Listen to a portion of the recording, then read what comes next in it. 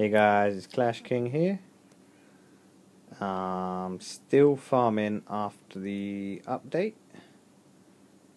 It's not much of a good one. It's very. The loot is very scarce, hardly finding any loot at all, and it's taking me a long time to find a map. I'm spending a lot of coins searching. I've just found this guy, and I'm just gonna just head in there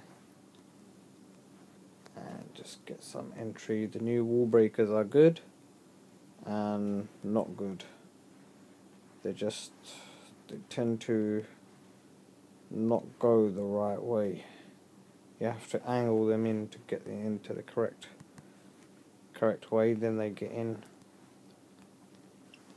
a lot better when you angle them correctly. So it is a lot of trial and error on the map.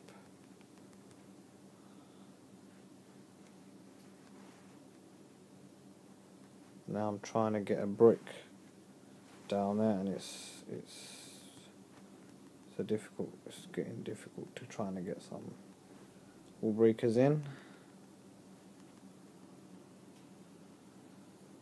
Deployed all my archers and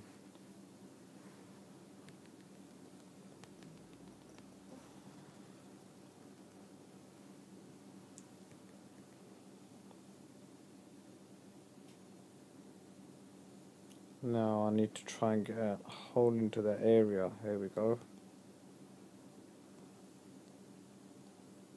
That's the one.